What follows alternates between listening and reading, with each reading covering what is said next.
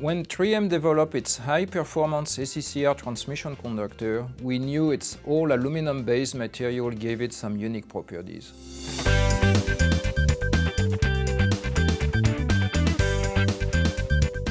The core is comprised of alumina fibers in a high-purity aluminum matrix.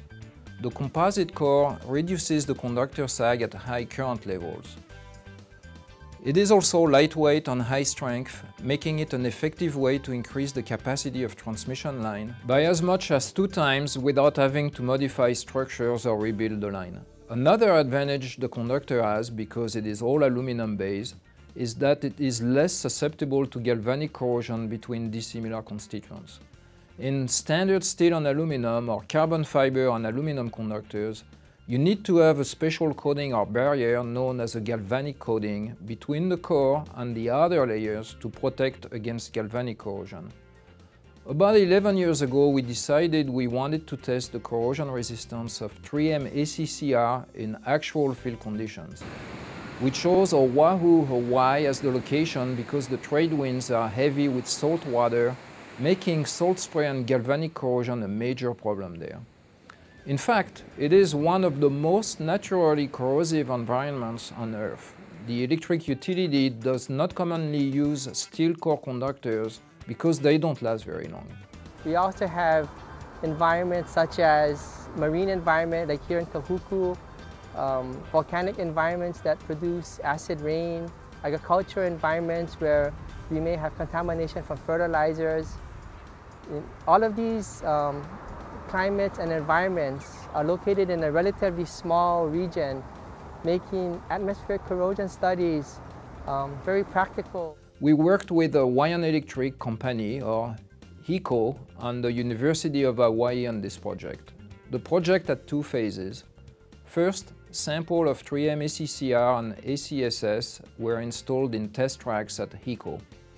The samples were monitored over a period of three years Although the ACSS sample clearly showed corrosion forming, the ACCR showed very little corrosion.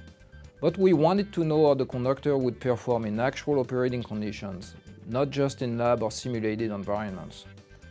The sample did not sufficiently demonstrate the performance of the conductor in actual field conditions, since no electricity flows through the sample. So 477 T16 3M ACCR Hawk was also installed on one of HECO's 46 kV distribution lines.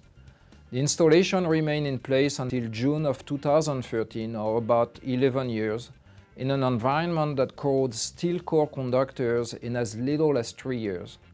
We took the conductor down to test how it had held up. The first thing we did was to visually inspect the ACCR the results did not show any signs of corrosion or pitting in the outside aluminum wires or in the core wires. Next, we shipped the conductor back to St. Paul to test the strength. We tested two samples of conductors using a cable strength tester. The rated breaking strength of ACCR Hawk is 19,200 pounds. The strength of the conductor that had been installed and operated in this heavy saltwater environment ranged from 105% to 106% of the RBS.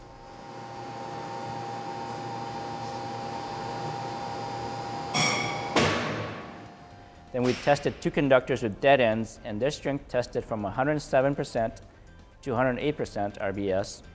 We also measured the conductor weight, and the results showed no measurable changes. The conductor was disassembled and inspected under optical and scanning electron microscopes for sign of corrosion and pitting. Apart from a slight discoloration and darkening of the outside layers, there were no signs of corrosion or pitting. The results of this long-term field test clearly indicates that 3M ACCR high-capacity conductor has excellent resistance to salt spray corrosion in extreme but real field conditions.